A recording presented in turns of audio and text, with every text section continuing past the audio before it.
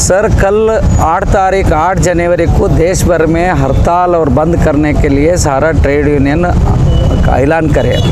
तो गुलबर्गा ज़िले में भी centre of Indian trade union और I I T U C INTUC और यू टी यू सी तीन चार ट्रेड यूनियन और किसान सभा ऑल इंडिया किसान सभा, कर्नाटका प्रांत रैत संघ किसान और मजदूरों के इश्यू लेके हम सारा गुलबर्गा बंद करने के लिए ऐलान करके आपके सामने मुद्दा रख रहे ये देश भर में क्यों बंद कर रहा है? जिसमें तीन मुद्दा है। एक मुद्दा है देश के इकानमी सत्यानाश कर दी बीजेपी की हुकूमत, जो 3.5 मिलियन डॉलर इकानमी बोल के छप्पन इंच के सीना बता के चल रहा था उनका छप्पन इंच का सीना भी गई देश की इज़्ज़त भी गई दो गरीब लोग सत्यानाश होने की बात उठा के सारा इकोनॉमी सत्यानाश हो गया।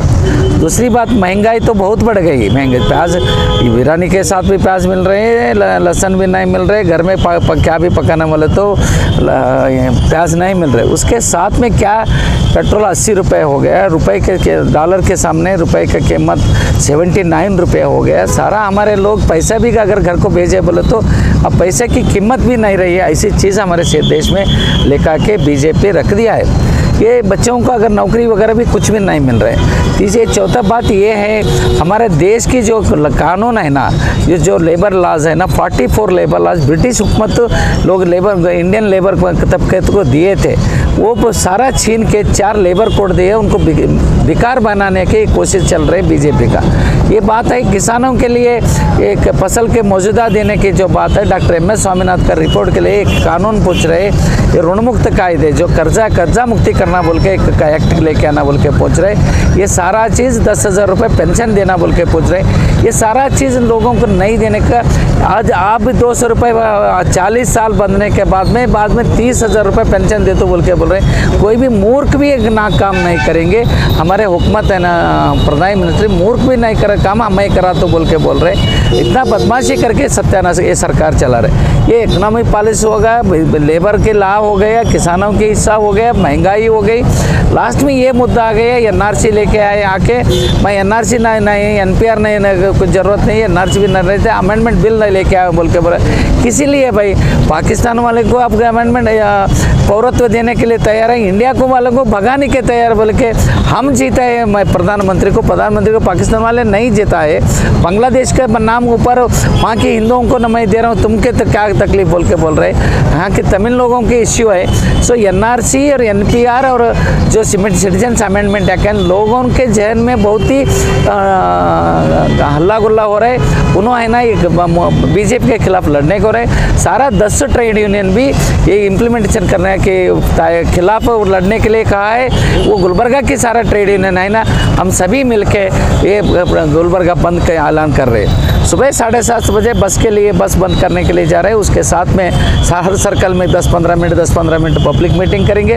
सारा ट्रेड यूनियन वाले लीडर सब मिल के ये चीज़ लेके सारा गुलबर्गे में दस बीस पब्लिक मीटिंग करके ग्यारह एलेवन थर्टी को नगरेश्वर से जगत सर्कल तक पाद यात्रा करेंगे मोर्चा करेंगे प्रोसेसन करेंगे रैली करने के लिए ऐलान करें। गुलबर्गे की सारा आवाम को कारोबार बंद करो, ऑटो बंद करो, और जो ट्रैक्स है, बस है, सारा बंद करके हम इसमें हिस्सा लेना बोल के हैं। ये सारा इम्प्लीमेंट करने के लिए गुलबर्गा की जो आवाम को मैं मदद करता हूँ, इसी पीपल्स फोरम वाले को मदद करना, हमारे साथी मुल्ला ऑल इंडिया किसान सभा के उन्हें सभी मिलके ये सारा बार इम्प्लीमेंट करने के लिए हम जुड़े हुए। आप सभी का थ्रू आप सबके सोशल मीडिया के थ्रू मैं गुलबर्गा का मना और एक बार अपील करता हूँ। गुलबंद कामयाब करने के लिए, और रैली कामयाब करने के लिए मैं विनंती कर रहा हूँ मारुति मान पर। कल का प्रोटेस्ट जो है देश भर में के 180 किसान ऑर्गेनाइजेशन इकट्ठा होके तीन साल से प्रोटेस्ट जिस सब्जेक्ट पे कर रहे वही सब्जेक्ट अभी तक उसी पे आज फिर यानी कल आने वाले आठ तारीख को प्रोटेस्ट होगा। उसमें दस कामगार यूनियन है, जो कि वो सेक्टर पूरे प्राइवेटाइजेशन का किए जा रहे हैं। ये तमाम चीज़ों के लिए कल का प्रोटेस्ट के लिए देश भर में के 25 से 30 करोड़ लोग रास्ते पे आएँगे। तो ये मोदी की जो नाकामयाबी है, उसकी वजह से इतने सारे लोग, इतने करोड़ों में करोड़ों में लोग जो रास्ते पे आ रहे हैं देखने को मिल रहा है। और उसमें से सी ए एन आर सी इन मसलों के ऊपर तो दुनिया भर में हल्ला गुल्ला हो रहा है। कि इनका make in India, made in India सब गायब हो गया, रोज़गार गायब हो गया। तो ये उनके काम का नतीजा है। अभी बचा सिर्फ़, झगड़ा बचा था, यानी दंगे फसाद ये लोग बचा के रखे थे, वो भी लोगों ने ख़त्म कर दिए, समझ लिए इनके चाल को। कहीं दंगा है ना फसाद है। ये भारत के लोगों की समझदारी की बात है और कल के जो प्रोटेस्ट में गुलबर्गा ज़िला के तमाम लोग इसमें शामिल हों, ये किसे, किसी को नुकसान पहुँचाने वाला ये प्रोटेस्ट नहीं है।